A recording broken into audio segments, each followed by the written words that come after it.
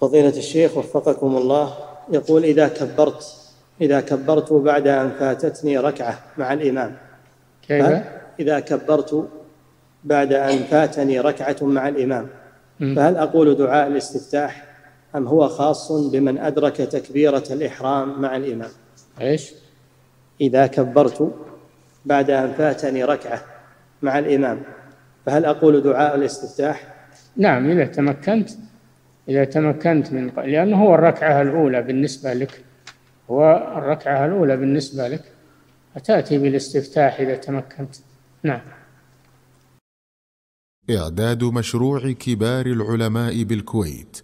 أعزها الله بالتوحيد والسنة.